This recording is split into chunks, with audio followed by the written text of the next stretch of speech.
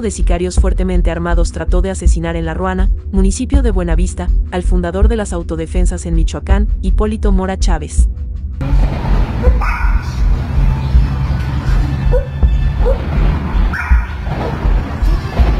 Los escoltas del luchador social lograron repeler la agresión, aunque uno de los policías que lo resguardan fue herido de bala.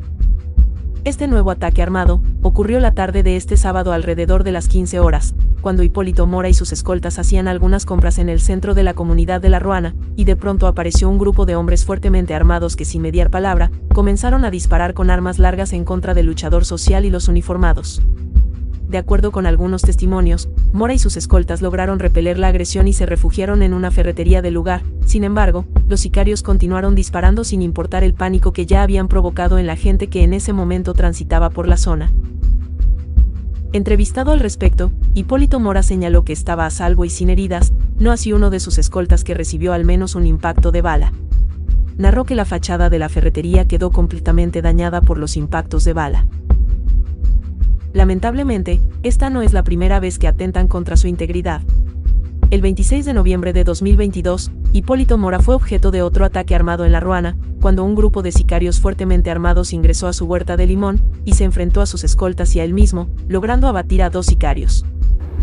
El día de hoy fuimos atacados por unos sicarios en mi huerta que llegaron caminando, pero dos iban en una moto, nos llegaron a unos 10 metros de lejos.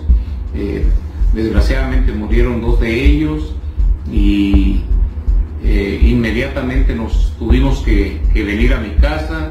Eh, siempre pensé que, al dejarlos solos había el riesgo de que le robaran las armas. Desafortunadamente así pasó. Eh, pero ya tenemos el nombre de la persona que, que entró y se las llevó. Ya la tiene la fiscalía también. Ojalá lo detengan muy pronto. El 4 de diciembre del año pasado, Hipólito Mora denunció la presencia de civiles armados asociados a los Viagras, quienes pretendían acercarse a sus propiedades y el lugar donde se encontraba en ese momento, con la intención de agredirlo.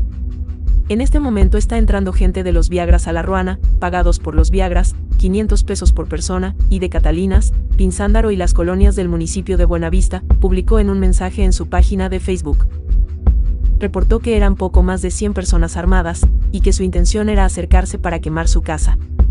Días después, el 14 de diciembre, de nueva cuenta supuestos pobladores de la Ruana, se manifestaron en su contra, y dentro de su rancho quemaron una patrulla que era utilizada por sus escoltas, además, incendiaron también un camión de redilas. Apenas el pasado 24 de febrero, en conferencia de prensa a 10 años del surgimiento de las autodefensas, Mora Chávez anunció que tomaría las armas ante la falta de resultados del gobierno estatal para combatir y acabar con el crimen organizado en la región de Buenavista y en otras partes de Michoacán. Ese mismo día denunció que recibió amenazas de muerte. Ya andan otra vez dentro, en motos, no en camionetas, a veces se acercan en camionetas, andan empistolados, hasta 10, 15 se ponen a tomar por ahí en el centro, estando la base de operaciones ahí donde está. ¿Qué es lo que me hace pensar a mí y a mi pueblo que todos los días me hablan y me están diciendo? Que ya les llegaron al precio a las personas que están allí o al menos a los mandos. El pueblo está muy molesto y me está exigiendo que convoque para volver a tomar las armas. Otra vez se va a repetir la historia de 2013, que dejamos que el gobierno metiera las manos y se vino abajo todo el, movimiento, que no les importó la cantidad de muertos que hubo, que a mí me duelen, que no los puedo olvidar 10 años después. Gracias al gobierno se reagruparon y volvieron y tienen el poder otra vez en todas partes. Me refiero a personas del gobierno, a personas de las autoridades de los tres niveles y sobre todo al crimen organizado. Y esto va en serio, más les vale que me crean.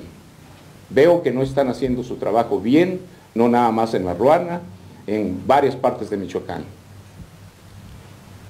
O hacen su trabajo como tiene que ser, detienen a las gentes que nos están haciendo daño en La Ruana, o convoco a tomar las armas y dejo la política porque eso es lo que voy a hacer y más les vale que tomen en cuenta. Saben bien, lo han tratado de hacer, han tratado muchas veces de asesinarme a, mi grupo y a mí, han tratado, me han aventado al crimen organizado, me aventaron a los entre comillas, autodefensas a que nos asesinaran, hubo muchas muertes, responsable el gobierno, porque ha dejado que hagan lo que quieran. Ultimátum para el gobierno. O me detienen a esa gente que está en la ruana, o convoco a tomar las armas y no nada más en la ruana, a nivel estado. Me sigue muchísima gente de otros estados también. Hagan su trabajo, no les voy a dar fecha, pero pueden estar seguros que se van a dar cuenta cuando ande el movimiento en grande, van a mandar mucho gobierno tal vez a detenernos. Yo siempre he estado al frente en los enfrentamientos que hemos tenido, me han querido detener con todo y el grupo y me les he fajado bonito a, capitanes, a mandos de la Policía Federal que ya desapareció, deténganos, cálele y aquí va a haber muchos muertos. Aquí no va a haber detenciones con Hipólito Mora. Si nos van a desarmar o quieren desarmarnos, primero nos vamos a trenzar a balazos y nos vamos a morir muchos, entre ellos usted y yo, capitán, le dije.